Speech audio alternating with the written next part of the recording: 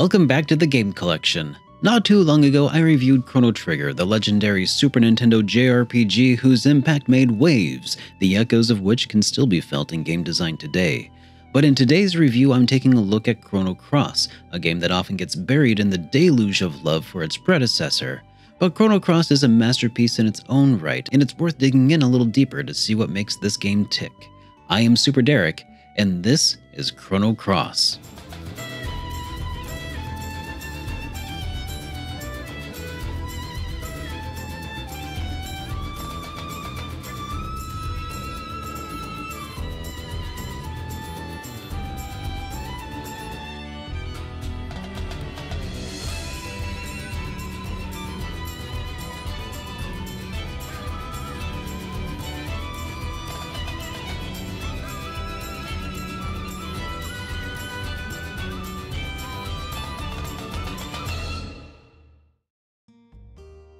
In my review of Chrono Trigger, I highlighted three key figures who came together to work on creating Chrono Trigger, known as the Dream Team. This team included Yuji Horii, Hironobu Sakaguchi, and Akira Toriyama. Unfortunately, none of these three key figures were involved in the creation of Chrono Cross. Sakaguchi was tied up developing what would eventually become Final Fantasy IX, Horii was working on Dragon Quest VII, and Toriyama was working on the Dragon Ball Z Tree of Might movies and Dr. Slump TV series. Normally, this would bode poorly for a game responsible for carrying on the mantle that was the legendary Chrono Trigger, and perhaps this was one of the deciding factors that resulted in Chrono Cross being a bit further removed from Chrono Trigger, which plays a bit more like a side story that takes place in the universe created by Chrono Trigger rather than a continuation of the original story. However, a handful of Chrono Trigger veterans returned to work on Chrono Cross, including the scenario writer Masato Kato, who took on the role of director, and art director Yasuyuki Honne, and of course, Yasunori Mitsuda, returning to reprise his role as composer of what many would consider to be some of his greatest work of all time. Joining the team of over 100 other developers was producer Hiromichi Tanaka, as well as character designer Nobuteru Yuki, who also had previously done design work for Seiken Densetsu 3, as well as several other anime. Chrono Cross follows the story of Serge, a teenage boy who becomes wrapped up in a battle that spans across two alternate realities. Fans of Chrono Trigger will see a couple of familiar faces, but should really be approached without expectation. As I alluded to before, Chrono Cross is not Chrono Trigger 2, so temper your expectations and hype responsibly. I must admit that the very first time I played Crono Cross back in the day, I was disappointed not to see Chrono, Lucca, and Marle reunited in another battle to save time and space. Even so, I was able to see that there was something special in Chrono Cross. It's hard for me to speak objectively about Chrono Cross, but I'll try my best. The overall story of Chrono Cross, if I hold it to the same standards that I've held others like Dot Hack and Kingdom Hearts, is a convoluted mess that really makes the most sense when you don't look at it too closely, and instead it's best enjoyed with a heaping helping of don't think about it too hard. Chrono Trigger's shonen anime art style and time-traveling adventure that feels lighthearted enough to handwave away most of the intrusive thoughts telling you that the game's full of plot holes and paradoxes. You don't care too much that Chrono Trigger introduces the concept of the grandfather time travel paradox in the beginning of the game only to immediately disregard it for the remainder of the game. Chrono Trigger is a romp. It's just good fun. But Chrono Cross doesn't feel like it should receive that same leniency. Why is that? Chrono Cross has more realistic looking characters, more like a seinen anime, which informs the player that this is a more serious story being told. The comic relief is reeled way back in. The tone of Chrono Cross is that of a somber tragedy, further informed by the tear-jerking compositions of Mitsuda. The whole game's cast is full of stories that are bittersweet. Themes of time travel are scaled way back, and instead the story centers around the concepts of fate and choice and how our choices have far reaching consequences. Chrono Cross is not a lighthearted romp at all. It's a game with weighty themes and an emotionally complex story. It is a game that asks the player to think about the consequences of their choices and to consider the role that time plays on our lives. So when the story is put under a microscope and things don't exactly look like they make sense, and the story is instead a Gordian knot, a convoluted mess that JRPGs of the PS1 era are known for, it's kind of harder to shrug it off. But subjectively, though, if I may put those rose tinted glasses back on for a moment, Chrono Cross is less about the how, the why, and the what.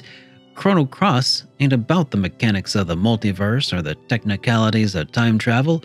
Those are just the medium upon which our vessel sails. Why does the tide go in and the tide go out? It's not what matters. On this voyage, what matters isn't what you know, it's about what you feel. And Chrono Cross, man, it's got feels and spades. I only just wish I could always have the ability to embrace this in other games the way that I can for Chrono Cross. Chrono Cross is pretty well known, for better or for worse, for its sprawling cast of playable characters, drawing comparisons to the Suikoden series. While this does not have 108 stars of destiny, Chrono Cross does have 45 total playable characters, including some who are temporary. A contentious decision made by the developers is that the player cannot recruit all characters in a single playthrough, instead requiring players to take no fewer than three paths through the game to catch them all. That's not the contentious part, though. What is contentious is that in order to recruit some characters, the player must sometimes make unintuitive choices when prompted in order to recruit characters who are seemingly unrelated to the question at hand, and in some cases making what appears to be a callous decision during a tense moment of the game in order to recruit Glenn, who is arguably the coolest character in the entire game. And on that note, not all characters were created equally, to put it mildly. Some characters feel like they were designed as main characters, with fully fleshed out backstories and super cool mythical weaponry.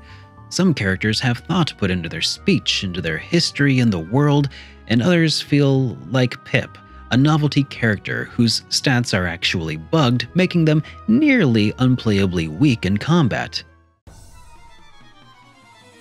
Speaking of combat, Chrono Cross also has a combat system that I've not seen replicated anywhere else. No other game has made a combat system quite like Chrono Cross, which is a real shame because Chrono Cross, as a JRPG, defies so many conventions that we all take for granted in Japanese RPGs that it's kind of amazing that the concepts haven't been assimilated into other varieties of Japanese style role playing games. Chrono Cross gets rid of the concept of experience points in the traditional sense, Levels are gained when bosses are defeated, and by fighting some monsters, you can gain a smattering of additional stat bonuses, but you cannot find yourself over leveled. You cannot find your teammates under leveled. You can still, through exploration and equipment optimization, find yourself overpowered if you so choose, but leveling is a non problem, and grinding is rarely a solution to making progress. Combat is turn based, and during a turn, party members have up to 7 points of stamina that they can expend on physical attacks of varying power and accuracy in exchange for more stamina. Quick jabs cost a single point and have a greater accuracy, and the most powerful attacks cost 3 stamina points and are less accurate, but do considerably more damage. Each successive hit during a turn raises accuracy of the next attack, so there is a risk reward system in place where players might attack with a 1 2 3 combo to get a great chance of dealing a good chunk of damage, or attacking with a 3 3 combo with a lower chance of dealing maximum damage. The elemental grid is the magic system of Chrono Cross and is one of my favorite mechanics in the game. Chrono Cross does not have an MP system. Instead, you have a grid of elements that you can buy or discover in chests or steal from enemies during combat. These elements can be equipped to each character's grid. Each element can be used once per encounter, except for healing consumable elements that act like potions in the game. Just because the elements are equipped, though, does not mean you can use them straight from the get go. Remember how each physical attack needs some number of stamina points? Well, successful hits adds that number of stamina points to your columns of usable elements, meaning if you hit enemies with 3 stamina points worth of attacks, you can use the first 3 weakest columns of elements in your elemental grid. More successful attacks unlocks additional and more powerful columns of elements. So for a single turn of combat, if a character starts off with 7 full points of stamina, they could attack with a 1-2-3 combo, and with their final point of stamina they can use an element in the 6th column of the grid. This will however consume more stamina than the party member has left, sending them into a stamina deficit of 6 points. These points regenerate over the course of the round dependent upon the character's stats, but up to 7 points per turn of combat, meaning characters with high stamina can repeat this each round of combat, whereas others might start their next round with 6 or fewer points of stamina to work with.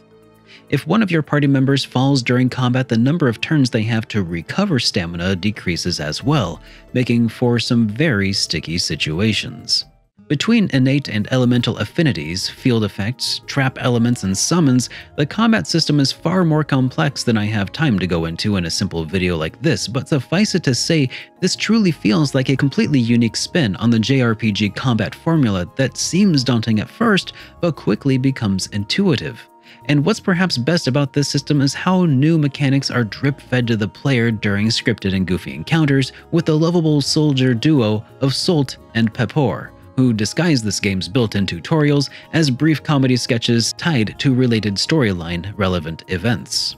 One of the few connections in gameplay between Chrono Trigger and Chrono Cross is the lack of random encounters on the map, and the implementation of scripted encounters is honestly head and shoulders above the implementation of Chrono Trigger all encounters are actually able to be seen from the world map, so the player will never feel completely taken off guard. Chrono Trigger sometimes had invisible tiles that would trigger enemies to come on screen and then attack without warning. Chrono Cross eliminates these. In addition, you can actually retreat from just about every single boss fight to reconfigure your party, equipment, and elemental loadouts if needed. Another carryover from Chrono Trigger is the game's signature dual and triple techs. However, these are far less common to come across and contributes significantly to that feeling of certain characters being fleshed out more than others and feeling more like canonized main characters. The world presented in Chrono Cross is a much smaller scale than that which was represented in Chrono Trigger. In Chrono Trigger, not only did you have an entire globe to explore, you also got to explore it across several eras, Chrono Cross, on the other hand, allows you to explore only a small archipelago across two alternate realities set in the same era.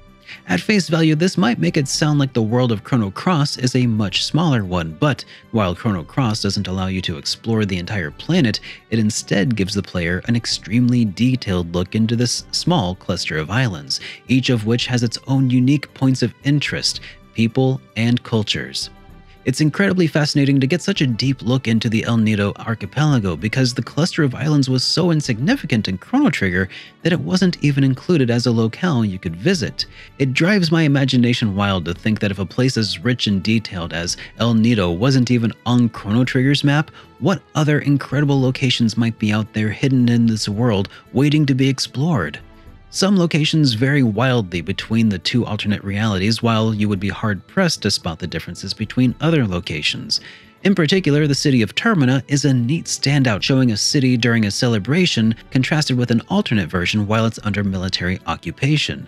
Yet island life in the village of Arni is mostly the same though it's still worth noting that some villagers definitely lead wildly different lives. In showcasing these differences, the world design helps further illustrate the literary themes of fate and self-determination, and whenever the world design of a game complements the story rather than simply being relegated to a pretty backdrop, I have to give high praises.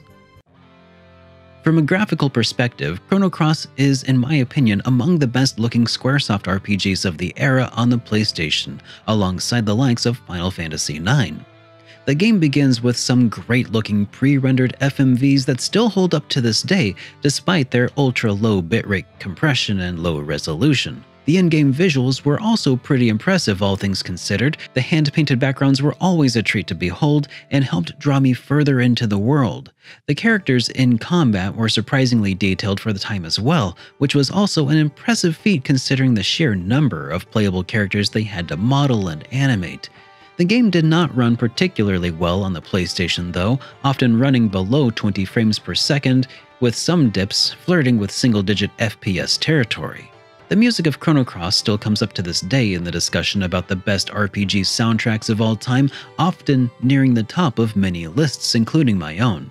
So when the enhanced vinyl soundtrack went up for sale on PlayAsia, it wound up finding itself in my shopping cart and on its way to my home before I had even realized what I was doing.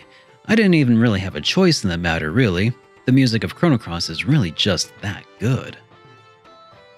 That enhanced soundtrack was released in tandem with the Radical Dreamers Edition re release of Chrono Cross on the Nintendo Switch. This enhanced port of the game featured the titular Radical Dreamers game that occurred non canonically between the events of Chrono Trigger and Chrono Cross.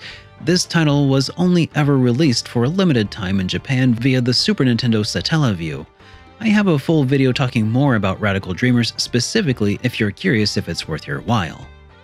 Additionally, the Radical Dreamers edition increases the polygon count of several character models, cleans up the textures, adds newly arranged tracks, and hardcodes some quality of life improvements such as the ability to turn on and off encounters, speed up and slow down the game's speed, and cheat modes that allow you to use any element at any time without building up power first. The remaster also allows you to turn off these enhancements to return to the stock experience if you prefer.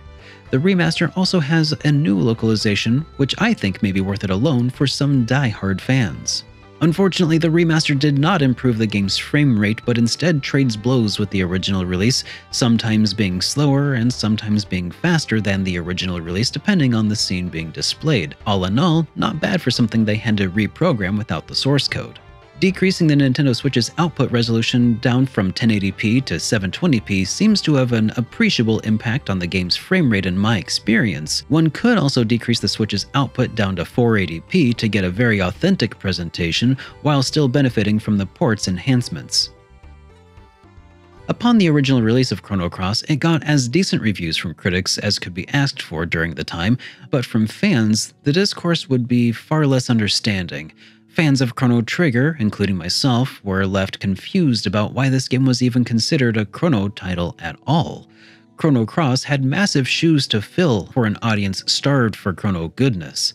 In hindsight, I wonder what kind of game could have possibly fulfilled the desires of fans of the era. And the fact that Chrono Cross took such a decidedly sharp turn in terms of style, storytelling, character development, combat, world design, and basically every other measure of a Japanese RPG didn't help at all, I'm sure. I've sometimes talked about how growing up I didn't have a ton of RPGs to play, so instead I replayed a handful of games over and over. Games like Secret of Mana, Earthbound, and Chrono Cross. And with Chrono Cross, it seemed like there was always something new to discover, some hidden character to unlock, some different ending to look at, and some different dialogue to discover. And even this time around, in my most recent playthrough of Radical Dreamers Edition on Nintendo Switch, I still found new details hidden just out of sight. To me, the replay value of Chrono Cross isn't just some nebulous concept of what I could hypothetically do someday if I ever decided to replay the game, despite having a backlog as deep as, well, the ocean. To me, it's a lived experience. And it's an incredibly unique experience that I can't wait for more people to be able to try out. Because perhaps even more so than Chrono Trigger, Chrono Cross is one of a kind. And that's why it's got a spot in the game collection.